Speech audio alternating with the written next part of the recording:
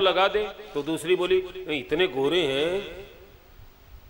कुंद, इंदु, चंद्रमा के शंख और कपूर, ऐसा कर्पूर गौरव शिव से गोरा कोई नहीं और कहते हैं कि गले में जो जहर है ना, उसकी श्यामता ऐसे लगती है, कोई डिठोना लगा दिया, इनको नज़र लग नहीं सकती है। ऐसे बड़ा आनंद हो रहा। अब नाई और ब्राह्मण आ गए शंकर जी के पास। नाई ब्राह्मण अपना अपना नेग मांगने लागे। नाई आए, ब्राह्मण आए, दूल्हे राजा, हमारा नेग दो। शंकर जी बोले, आपका नेग क्या होता सो बताओ। बोले, जो चीज़ दूल्हे को सबसे प्रिय होती है, वो हमको देते हैं। शंकर जी बोले, अभी रुक। किसी को काला नाग, किसी को बिच्छू देने लागे। और जो देने लागे तो सब भागे। बोले, दूल्हा तो सुंदर हो गया, लेकिन स्वभाव तो अब शंकर जी मंडप में आए हैं, बड़ा दिव्य मंडप बना है, सिंहासन के साथ सोवा। सिंहासन अति दिव्य सुहावा। श्री राम।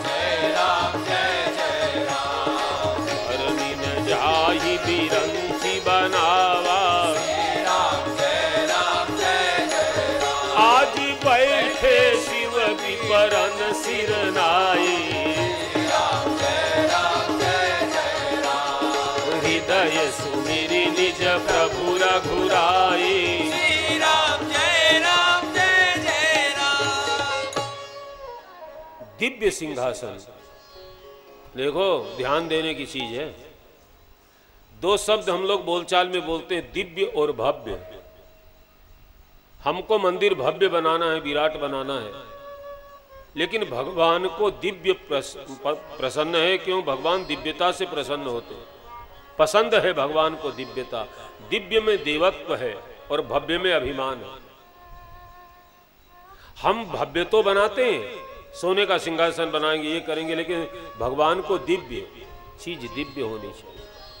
बड़ा दिव्य सिंहासन उसमें ऐसा लगता है ब्रह्मा जी ने बनाया है। शंकर जी ब्राह्मणों को नमस्कार करके, हृदय में अपने भगवान रघुनाथ जी का ध्यान करके बैठे हैं।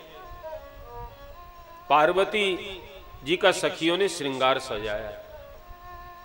छवि खानी मातु भवानी, कौन वर्णन कर सकता है? और बेटे को, पुत्र को माँ के श्रृंगार के वर्णन का अधिकार नहीं, तुलसीदास जी बहुत मर्यादा से छवि खानी माँ तो भवानी कह करके आगे वर्णन नहीं कर सब चीज़ का वर्णन किया गोस्वामी जी ने, लेकिन सीता जी के श्रृंगार का और पार्वती जी के श्रृंगार का वर्णन नहीं किया है। मर्यादा से कुछ बातें कह दी और अब आई है।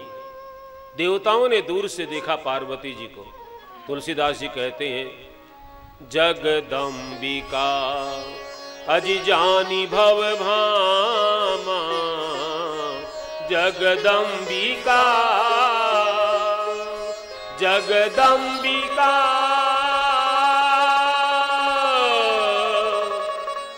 जानी भव भामा सुरन मन ही मन कीन दूर से देवताओं ने देखा, पार्वती जी पधार रही है। मन ही मन सब देवताओं ने प्रणाम किया है। और पार्वती जी बड़ी मर्यादा से मंडप में आती है। लज्जा के मारे पलकें झुकी। पति के चरणों के दर्शन करना चाहती है, लेकिन इतने लोग बैठे नज़र उठाए कैसे? शरीर में संकोच है, मन में प्रेम है। देखो भाई आजकल की फ़ैशन कुछ कहती है कि शर्म मत करो। पढ़ी लिखी बहन बेटियाँ कहती है, जो करे शर्म, उसके फूटे कर्म। यहाँ तक कहते हैं लोग। लेकिन लज्जा इतनी बुरी चीज़ नहीं है। यदि बुरी चीज़ होती तो मारकंडे ऋषि। उनके बारे में क्या कहना साहब? दुर्गा सप्तशती में, पाँचवें अध्याय में जब देवी की स्तुति देवता करते हैं, तब वो कहते हैं या देवी सर्वभूतेषु लज्जारूपेण संस्थिता।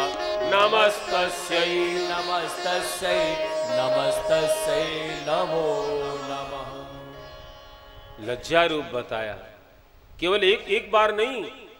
या श्री स्वयं सुकृति नाम भवने स्वलक्ष्मी पापात्मनां कृतधियाँ हृदये सुबुद्धि। श्रद्धा सतां कुलजन प्रभवस्य लज्जा। लज्जा बहुत। अब कहें लज्जा की क्या आवश्यकता है? तो ठीक से समझिए। इसके आगे के श्लोक में क्या लिखा है? उसको समझने से बात समझ में आएगी। या देवी सर्वभूतेषु शांति रूपेण संस्थिता। नमस्तस्यै नमस्तस्यै नमस्तस्यै नमो नमः। शांति। लज्जा से ही शांति मिलती है। आज समाज जितना जितना निर्लज हुआ है उतना उतना अशांत हुआ है। कभी आपने सोचा हमारी अशांति का कारण निर्लज- निर्लज्जता तो नहीं? केवल घूंघट की बात नहीं है, पुरुष को भी। मैं तो अभी बोला नवरात्र में कि बैठने में लज्जा हो, किस तरीके से बैठे? हम समाज में बैठे तो कैसे बैठना है? बैठने का? चलने में। सब लज्जा, लज्जावान, हर उसको बोलेगा तो। कोई कहते नहीं यहाँ की बात बोले, शर्म को नहीं आवे? यहाँ को काम करे, शर्म को। कुलीन परिवार के लोग लज्जा होते। लेकिन लज्जा जिसमें नहीं है, उसको शांति नहीं मिलेगी नहीं मिलेगी नहीं मिलेगी। आप ये शास्त्रों की बात है, अजमा कर देख ले। ठीक कहा हरियाणा के एक कवि ने, बोले, बेईमानी का वृक्ष बुरा से जाकर देख लियो और उसके फल फल कड़वे होते चाहे, खाकर देख लो करके देख लो। शर्म छोड़ करके, तोड़ करके देख लो। तुम अशांत न हो जाओ तो। सिस्टम है। विवेका, ये हमारे यहाँ शराब पीने को मना किया शास्त्र ने क्यों? शराब पीने से लज्जा नष्ट होती। सबसे पहले विवेकानंद जी ने कहा इस बात लज्जा नष्ट होगी तो शांति नष्ट होगी। शांति नष्ट होगी तो धर्म, कर्म सब नष्ट हो जाए अशांत आदमी, अब हमारा चित्त अशांत तो हम कथा कर पाएँगे। आपका चित्त अशांत हो जाए तो आप इतनी देर बैठ पाएँगे। कोई काम अशांत आदमी नहीं कर सकता। इसलिए लज्जा ज़रूरी है, ज़रूरी। पार्वती जी, जगत की माँ हमारी माँ सिखा रही है, जगदम्बा सिखा रही है, हम लोग उसको वो कर रहे हैं। बड़ी मर्यादा से बैठ गई है, पलकें झुकी है। उसके बाद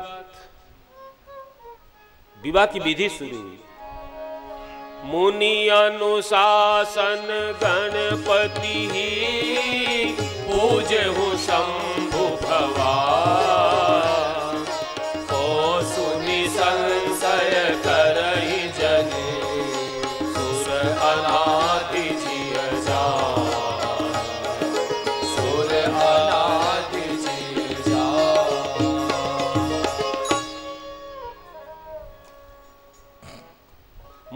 आज्ञा से गणपति का पूजन किया। लेकिन तुलसीदास जी ने साथ में ही लिख दिया, कोई संशय मत करना है भाई। माता पिता के विवाह में बेटा कहाँ से आया? गणपति एक नाम नहीं है, गणपति एक पद है। जैसे राष्ट्रपति, ऐसे गणपति। उस समय गणपति के पद पर भगवान नारायण थे। निर्गुण, निराकार। जो सुपारी का गणेश बनाते हैं ना निराकार भगवान, वो गणपति। तो गणपति का पूजन किया है, विवाह की विधि शुरू हुई है। फिर राजा हिमाचल बेटी का हाथ भगवान शंकर के हाथ में पानी ग्रहण संस्कार होता है। पानी ग्रहण जब कीन महेशा हर से तब सकल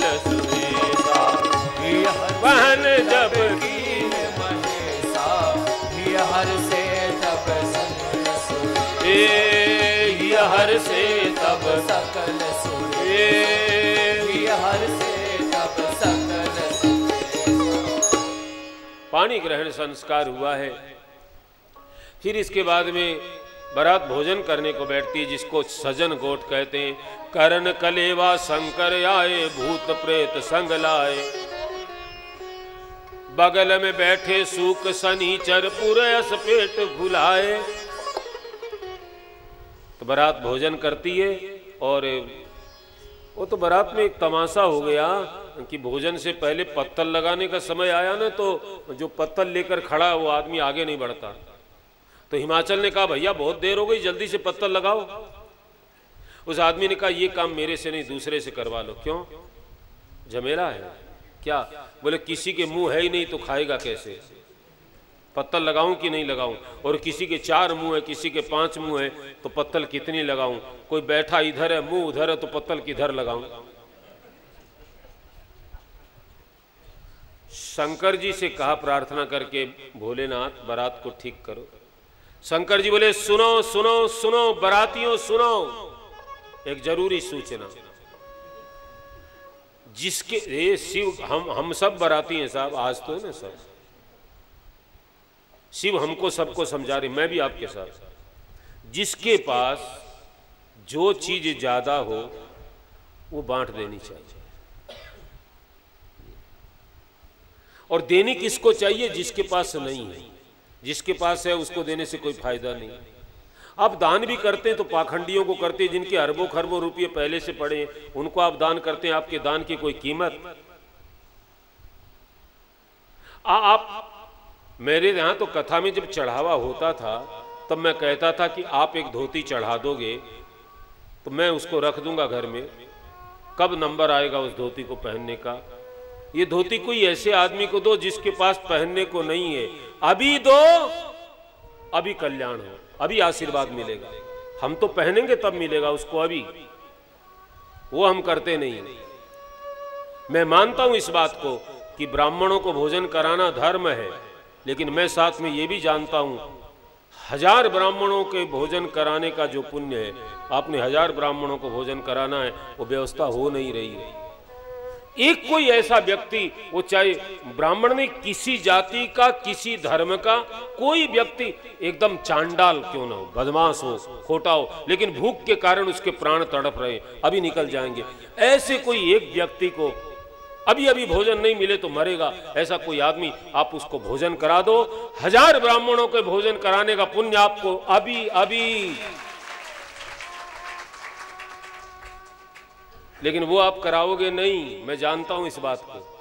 कहता तो हूँ, मैं तो कहता हूँ, एक पत्थर फेंक देता हूँ, किसी को लग जाए तो मारवाड़ी में समझते चाननो हो जावे। हाँ नहीं हम एक जगह कथा कर रहे थे तो लोग नए नए प्रसाद वो उसमें बांटे तो नौ दिन का पहले ही तय हो गया।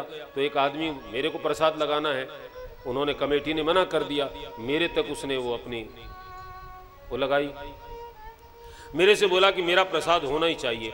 तो मैंने कहा, आप किसी गरीबों को ये उतने पैसे का, गरीबों को बोले, उतना ज्ञान तो हमको भी है। ये मज़ा है। लोग अच्छी बात मानने को तैयार नहीं, आप मानते भी वही है जो आपने सोच रखा है। राम सुखदास जी महाराज कहते थे, आपने ज्ञान को नहीं, दूसरा की मानक को नहीं, भी को कल्याण कदे ही को नहीं हो सकता। जिसमें अपने में समझ नहीं है और कोई समझदार आदमी कहता उसको मानता नहीं, उसका सुधार कौन करे? भगवान भी नहीं सुधार तो फिर जिसके दस सिर है, वो एक सिर रखे, नौ सिर उनको दे दे। दसों का काम चले और दस सिर एक आदमी रखेगा तो रावण हो जाएगा। हर साल लोग जलाएँगे। ये ये रावण दहन के तो पता नहीं, मेरे तो आज तक दिमाग में नहीं आया। अब क्यों जलाते हैं लोग? हम एक बार अमर कंटक से कथा करके गए, उस दिन वहाँ रावण दहन था तो लोग जगह जगह रावण जला रहे तो मैं वहाँ पहुँचा तो क्या, गुरुजी देर होगी माना, क्या? बोले, रावण जला, रावण दहन। तो हमने कहा, रावण तुम्हारा कुछ लगता था क्या? बोले, हमारा क्यों लगेगा? हमने कहा जलाते तो वो है जिसके घर का मर जाए। रावण, हमारा कुछ लगता है क्या? क्यों जलाते हैं कभी किसी ने? क्या पता नहीं, क्या परंपरा। कब मर मरा गया रावण? हर साल जलाते हैं। अच्छा ठीक है, जला दिया। तो फिर उसका भंडारा करो। तुमने जलाया तो भंडारा भी करना चाहिए। ये पता नहीं क्या कुरीति किसने चला दी, क्या रावण मर मरा गया साहब क्या? ये रावण को तो आप जला दो, मार दो, लेकिन साहब शिव भक्त रावण नहीं मरेगा। वो अमर है। आज भी जब कोई जटाटवी गल जल प्रवाह गले वलंबी भुजंग तुंग मालिकां डमट डमट डमट निनाद वट्टमर्वयं चकार चंड तांडवं तनोतु न एतनोतु न शिव शिवं तनोतु न शिव शिवं कोई शिव तांडव गाता है साहब, वो कभी रावण मरा नहीं, आज भी। कोई शिव भक्त, कोई संस्कृत का जानकार जब मंदिर में शिव तांडव गाता है तो वो रावण प्रकट हो जाता है। तो इस प्रकार से बड़ा आनंद हो रहा है, बारात भोजन करने बैठी है, सब ठीक हो गए सब पत्तल लगाई है। बारात भोजन करती है तो सखियाँ गीत गाती है। थान किस विधि गावा गाड़ी? शिव जी एक लाजी।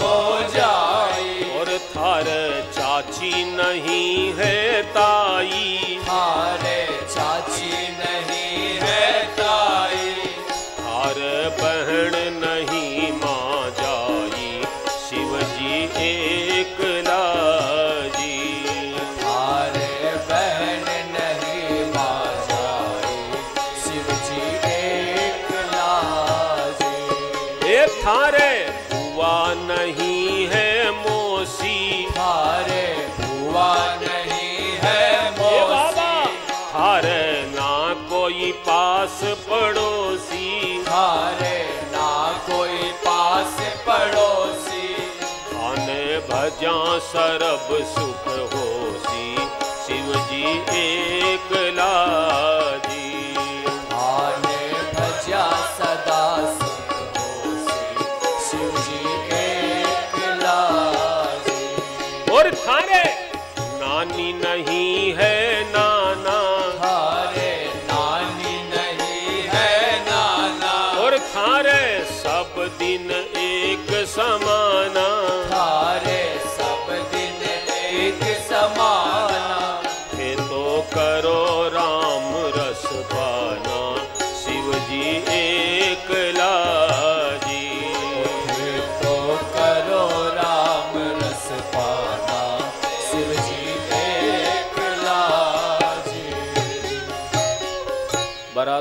करती है। बहुत दहेज दिया है। शंकर जी ने मांगा नहीं, लेकिन अपनी परंपरा एक वो है। दाइज दियो बहु भांति, पुनि कर ज़ोर कहो, का काम शंकर, चरण पंकज ये भगवान शंकर के सामने बहुत दहेज दे करके पूर्ण काम है, मैं आपको क्या दे सकता हूँ? देने की सार्थकता यही है। बहुत दे करके ये कहे, मैं कुछ नहीं दे सकता। तब उसका देना सफल है। और लेना किसका सफल है? कोई थोड़ा भी दे तो कहे, बहुत दिया। आज वो दोनों परंपरा गड़बड़ा गई है। कितना ही दे दो, लेने वाला कहता है, कुछ नहीं दिया। और देने वाला थोड़ा सा देकर कहता है, मैंने दिया, कोई देगा? सफल नहीं हो रहे हैं। रामायण सब सिखाती है साहब। इसमें व्यापार की नीति भी है, राजनीति भी है, प्रीति भी है, प्रीत नीति, प्रीति परमानथ स्वार्थ, क्या नहीं है रामायण में? अब विदाई का समय आ गया, बेटी विदाई का समय है। बेटी को नारी धर्म की शिक्षा दे रही है माँ। बेटी, तेरे भाग्य में सासू नहीं है, ससुर नहीं, देवर नहीं, जेठ नहीं, केवल भगवान शंकर है, इनकी सेवा खूब करना। करें सदा शंकर पद पूजा। श्री राम जय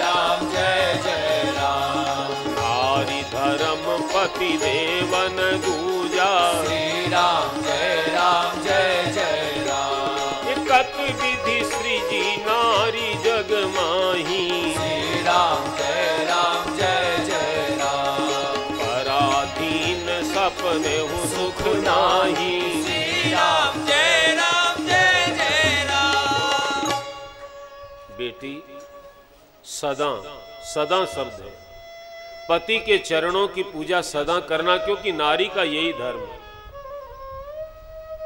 नारी को कहीं, यदि वो अपने परिवार की सेवा करे तो उसको मंदिर में, कथा में, कहीं आने जाने की आवश्यकता नहीं है। उसका वही धर्म है। घर में कोई अतिथि आए, उसकी सेवा न करे, और कहे, मैं तो कथा में जाऊँ। वो धर्म नहीं बताया है। तो कुछ धर्म के, परिवार के कुछ नियम बताए शास्त्र में। और माता रो पड़ी बेटी। नारी का जीवन सदा पराधीन है। जब छोटी होती है तो माता पिता के अधीन, बड़ी हो जाए, पति के अधीन, बूढ़ी हो जाए, बेटों के अधीन रहना पड़ता है। और पराधीन को सपने में भी सुख नहीं होता है। लेकिन एक नारी ऐसी महिमा है। जो पराधीनता में सुख मानती है। कोई कोई बच्ची ये चाहेगी कि मेरा बाप मर जाए और मैं स्वतंत्र हो जाऊँ? वो चाहे कि मेरे माँ बाप सही रहे। भजे मेरे ऊपर वो नियंत्रण रख। उस नियंत्रण को सुख मानती है। बंधन को सुख मानती है। बंधन को स्वीकार करती है। ये विडंबना नारी के हृदय की भगवान ने बनाई है। उसके बाद बेटी को विदा करते हैं माता पिता आए हैं, हाथ जोड़ करके राजा हिमाचल। नाथ उमा मम प्राण समय, गृह किंकरी करे। क्षमहु सकल कोई प्रसन्न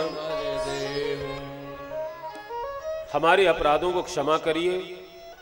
पार्वती हमको प्राणों से प्रिय है, इसको आप अपने घर की दासी बनाइए।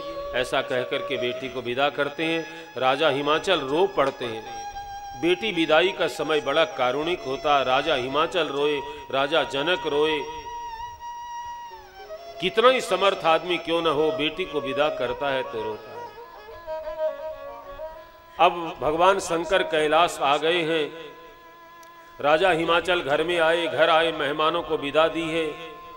और शंकर भगवान जब कैलाश में आ गए तो सारे देव देवता भगवान शंकर और पार्वती जी को प्रणाम करके अपने अपने धाम को चले गए। तुलसीदास जी कहते हैं जगत मात पितु शंभु भवानी। श्री राम जय राम जय जय राम। ते ही श्रृंगार न कहूँ बखानी। श्री राम जय राम जय जय राम। ये तब जन्म हूँ खट बदन कुमारा। श्री राम जय राम जय जय राम तारक असुर समर जही मारा। श्री राम जय राम जय जय राम मैं उनके श्रृंगार का वर्णन कैसे करूँ, वो तो जगत के माता पिता हैं। बहुत समय बीत गया। फिर पार्वती जी ने एक पुत्र को जन्म दिया, जिसका नाम स्वामी कार्तिक छह मुँह वाला बड़ी विलक्षण उनकी कथा जन्म की।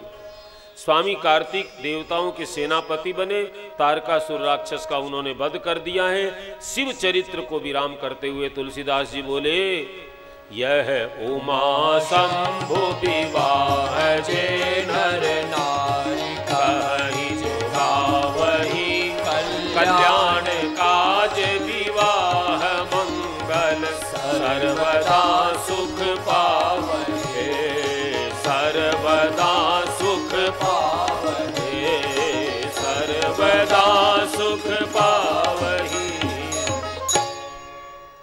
भगवान महादेव और पार्वती के विवाह की कथा जो सुनेंगे और गाएँगे, उनके घर में विवाह आदि मंगलकारी होंगे और सदा सुख मिलेगा, ऐसा आशीर्वाद दिया। चरित सिंधु रमन बेदन पावहि पर नहीं तुलसीदास किनी अतिमति मंद गवार अरे भगवान, महादेव का चरित्र तो समुद्र जैसा है, कौन कभी उसका पार पाएगा? तुलसीदास जी कहते हैं, मैं तो मतिमंद गवार हूँ। जब देखो, शिव का विवाह हो गया, ये बहुत समझने की बात है, केवल कथा नहीं है, इसका अंतरंग भाव समझने से ज़्यादा लाभ होता है। कल मैंने आपके सामने निवेदन किया कि शिव विश्वास है और पार्वती श्रद्धा है। जब श्रद्धा विश्वास का मिलन होता है तो दो पुत्रों का जन्म होता है। पहले पुत्र का नाम कार्तिक तुलसीदास जी यहाँ पुरुषार्थ कहते हैं उसको। श्रद्धा, विश्वास वाला आदमी परिश्रम बहुत करेगा, काम करेगा। वो हराम का कभी नहीं खाना पसंद करेगा। कई लोग, एक आदमी मेरे को कथा में मिला, महाराज, मैंने कहा, आप क्या काम करते बोले, कुछ नहीं करते। क्यों? बोले, अजगर करे ना चाकरी, पंछी करे ना काम। तो मैं- उसको बोला नहीं क्यों कि कष्ट हो जाए। लेकिन मैं मन में सोचा, तू अजगर है क्या? कि तू पक्षी है। भगवान ने मनुष्य बनाया है तो पुरुषार्थ करना चाहिए। अरे साहब, हम कुछ ले, दे, नहीं, वो बात अलग की है, लेकिन हम कम पुरुषार्थ करते हैं। आप कल्पना तो करो, ये चार चार घंटे इतना चिल्लाना, और वो भी एक आसन से। हिलना नहीं साहब, ये ये पुरुषार्थ कम है। जो आपसे लाखों लाखों करोड़ों ले जाते हैं, वो कैसे आपको डिज़ाइन की कथा सुनाते हैं? सोचिए। और बीच में म्यूज़िक बजेगा, बीच में ये होगा, है ना साहब? टाइम पर कोई महाराज आता है क्या? सोचिए तो सही पर आप लोगों की समझ में एक चीज़ बैठ गई कि जो चीज़ महँगी है, वो बढ़िया है। सस्ती है, वो खराब है। और हमारी वाली तो फ्री की है, तब बेकार है। आरती के पैसे भी नहीं चढ़ाने। ये ये मारवाड़ी लोग गजब है साहब। ये मारवाड़ी पट्टी है ना? हाँ। राजस्थान में कथा करने जाए तो लोग महाराज, लेवे को नहीं तो काम कहीं चला है? तो साला तू चला। तू मेरे घर में आके पूछ ना, कहीं चाल है? तेरो कहीं चाल है? तू कहीं नौकरी करता तो तेरा काम चलता है। हम सरकार की नौकरी करते हैं, हम दूसरों का काम चला सकते हैं साहब। हमारा कौन कहे? ये एक आदमी कहता था आगे से कौन ले पीछे से ले। तो पहले तो दुख हुआ। फिर मैं बोला ठीक राइट राइट पीछे से। हाँ ये काली ये साहब जय काली। कलकत्ते वाली तेरा बचन? अच्छा। छू मंत्र काली का जंतर था। बिल्कुल साहब मस्त रहो ना कोई ये, ये कथा कोई भाग्य से ही मिलती। पुरुषार्थ करो हम पुरुषार्थ ये आपको एहसान करने के लिए नहीं लेकिन पुरुषार्थ करते हैं। कई कई बार तो बिना कथा के आके संभालते व्यास गद्दी ठीक है क्या? कल कल कुछ लोगों ने देखा फिर आया मैं माइक ठीक नहीं था संतोष नहीं हो तो आना पड़ा। ये हमारी जीवन पुरुषार्थ है। जो भगवान के प्रति सच्चा श्रद्धा, विश्वास का हाँ हम उसमें धोखा भी हो सकता है। अब हमको कई लोग हमारे कहते गुरु जी आप जल्दी विश्वास कर लेते हैं, फिर धोखा हो जाता। तो करें क्या हम विश्वास के पुजारी हैं? बताओ। हम जी रहे हैं विश्वास से। अब कोई धोखा कर दे तो हम क्या करें उसका? इसके लिए हम विश्वास छोड़ दें। साहब, विश्वास छूट जाए, उससे बढ़िया मर जाए तो अच्छा है। विश्वास ही तो संपत्ति है। विश्वास और श्रद्धा छूट जाए, विश्वास, श्रद्धा लबालब भरी है इसलिए पुरुषार्थ में कमी नहीं है। इसलिए आप यदि श्रद्धा, विश्वास को मानते हो, खूब परिश्रम करो, कुछ नहीं बिगड़ेगा, शरीर एकदम स्वस्थ रहेगा। ज़्यादा वो पड़े पड़े रहोगे ना, खाओगे और पड़े रहोगे तो बीमार हो जाओगे। पर परिश्रम करो खूब। राजू को देखो ना। मस्ती पुरुषार्थ करो, सुबह उठे तब से लेकर के खूब पुरुषार्थ करो। किसी का काम करो करो। बेकार में बैठे मतलब हमको क्या लेना, हमको ऐसा नहीं साहब खूब। तो कार्तिक पुरुषार्थ, ध्यान देना। पुरुषार्थ करोगे, तब दूसरे बेटे का नाम गणेश, वो ज्ञान है। ज्ञान सस्ता नहीं है। पहले पुरुषार्थ करोगे, तब लगे, हम तो कुछ नहीं, बस किताब पढ़ ली। फलाने महाराज के गए, बस ज्ञान खाक हो गया तेरे को ज्ञान। तुम अभिमान को ज्ञान समझो तो कोई क्या कर सकता है? कई लोग अपने अभिमान को ही ज्ञान समझते हैं तो धोखे में अपने आप के साथ धोखा करते हैं, दूसरे के साथ नहीं। तो ऐसा ये शिव चरित्र को विराम दिया है। फिर पार्वती जी गृहस्थ जो धर्म है, उसका वो बताया देखो, बेटों का जन्म हो गया। अब क्या करें? अब पति पत्नी को भगवान के प्रति लगना चाहिए। तो पार्वती जी राम कथा के बारे में वो प्रश्न करती है शंकर भगवान से, लेकिन हम माता जी के चरणों में बारंबार प्रणाम करें। माता जी प्रश्न आप कल तीन बजे करें तो बढ़िया है। हमको आगे मर्यादा है, समय से बंधे लोग हैं। नहीं, मस्ती तो है भी एक डेढ़ घंटा चलाएँ साहब आज, लेकिन मूड है, लेकिन मूड क्या करे, मर्यादा अनुमति नहीं देती। अभी हम जगत गुरु जी के यहाँ गए ना तो जितने वक्ता थे, इनको पंद्रह मिनट, इनको दस मिनट, इनको और शास्त्री जी फिर बोले, भाई लाटा जी के लिए हम समय में नहीं बांधेंगे, वो जितना चाहें। तो मैंने दो भजन गा के महाराज जी की ओर हाथ जोड़ के कहा कि इन्होंने तो समय में नहीं बांधा है, लेकिन आपने मुझे मर्यादा में बाँध रखा है, इसलिए मैं मर्यादा का उल्लंघन नहीं नहीं साहब हम तो जुम्मा गाते थे, रात में दस बजे से पैर मोड़ के बैठे तो सुबह चार बजे, आज भी कोई बैठक में वो बाजी लगाए ना तो बारह घंटा कथा कर देंगे हाँ रंगबाजी तो ये है। नहीं करेंगे, आप चिंता, ताली उली मत बजाओ, कोई नहीं आप कहोगे, महाराज, हो क्यों नहीं, सर, नहीं करेंगे। कोई कोई भिड़ जाए कि हम हम ऐसा बैठ सकते हैं। हम निजामाबाद गए, फलाने कथावाचक इतनी देर बैठे हो। मैं कह, रहने दे, मेरे समझ भीड़ तो हम तो हम कई घाटों का पानी पी कर आए खाली। ऐसे सीधे ब्यास गद्दी हमको सस्ते में नहीं मिली। तो पार्वती जी कल प्रश्न करेगी और कल राम जन्म की बहुत आनंद की कदाजा कल भगवान के जन्म प्राकृतिक का आनंद लेंगे। और अभी आइए, एक दो बार भगवान का नाम ले ले, फिर संक्षिप्त रामायण। बांके बिहारी, जय हो तिहारी। बांके बिहारी।